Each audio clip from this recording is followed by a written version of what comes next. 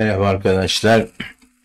Gerçekçi muharebelerde bir e, maç yapacağız. F4S Phantom 2 bu uçağı ben e, simülasyon modunda çok severek kullanıyorum. Ama gerçekçi muharebelerde o kadar iyi kullanmayı becerebildiğimi düşünmüyorum. Bakalım bu sefer neler yapacağız. Bu şehir haritasındayız. Etraf aşağı yukarı evet bir 39 var bizden aşağı yukarı aynı BR'de yani aşağı yukarı tam kendi e, gücümüze denk uçaklarla karşı karşıya olduğumuzu tahmin ediyorum. Bakışı yaptık bakalım. Şimdi ben merkezde gitmek yerine biraz daha sakin olacağını umduğum yanlardan devam edeceğim. Füzelerden de 9H'yi seçtim çünkü sim modunda olsak Sparrow'lar uzun menzilleriyle çok iş görüyorlar ama gerçi burada da işimizi görürler. Lakin şöyle bir sorun var.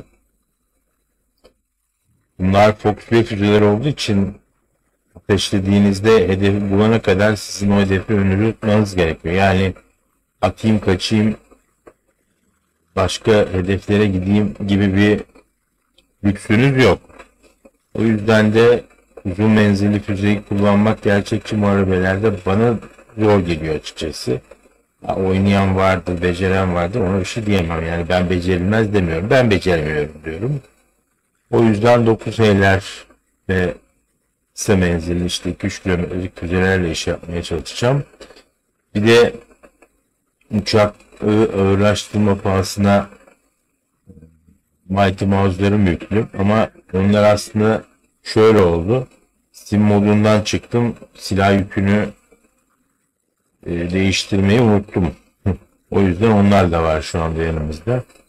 Tabii bu bizim için kötü oldu. Ciddi bir ağırlık sıkıntısı oluşturacak. Bir diğer e, hata da yakıtı bu kadar almasam olabilirdi. Gerçi hani yine makul sayılacak bir seviyede çünkü görüyorsunuz arka deneticileri sonuna kadar kullanıyorum. Onlar da yakıtı su gibi harcıyor. Bu arada bizim RVR radarımız Jack Jack öttü çünkü Evet arkadaşı bir 9 R gönderdim ama 5 kilometre oldukça uzun sayılır. Birileri tam arkamda bir uçak var. Hafifse arkamda. Saat 7 yönünde 19.00 yönünde öyle diyeyim. Falan arkamdan füze ihtimalim var. Evet arkadaş ateşledi zaten füzesini. Ben de F4'e ateşledim. Ve ağaçların içinden geçen füzeyle arkadaşı bir başka F4'esi vurdum. Üstelik de ben vurmamayı da başardım. Yani iki başarı birden.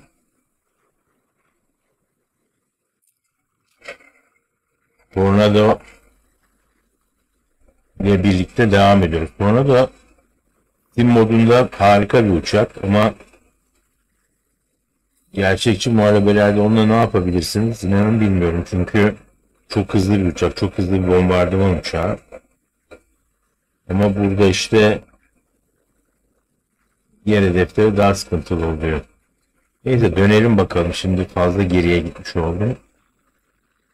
Yine bir füze attılar bana. Atan da şu an tam önümde olması lazım. Umarım vurulmam. Neyse vurmam. Hala önümde. Sağ tarafta da bir tane görebilirsiniz. Botlar var. O botları da tabi vurmakta fayda var. Yok diyemeyeceğim.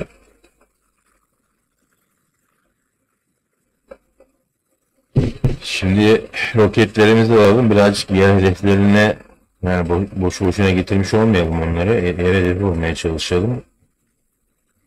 Hani bir an elim şeye çarptı. En, ya şu olaya çok sinir oluyorum ya. Bir anda karşısında yardım ekranı e, bildiri veriyor. Bakalım o yak 38'i kipinin önünden alabilecek miyim ama Aha bir de füze attım ama Hayret bir şey ya. Güzel ıskaladı. yani ne dokuz canlı bir botmuş. Kipirin de elinden kurtuldu benim de. Benim şahsi yeteneksizliğim sanırım. Neyse başka bir 38 var. Biz de ona gideriz. Sıkıntı yok.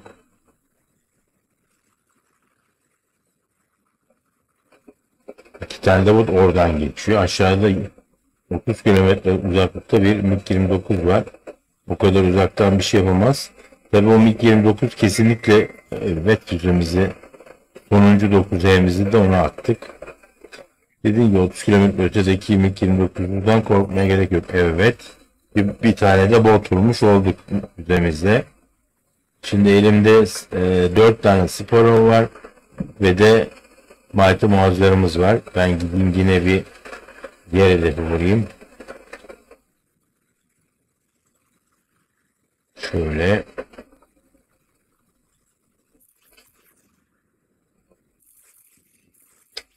Eyvah eyvah eyvah eyvah. Ay ay ay ay ay. Yanlış tuşa bastım.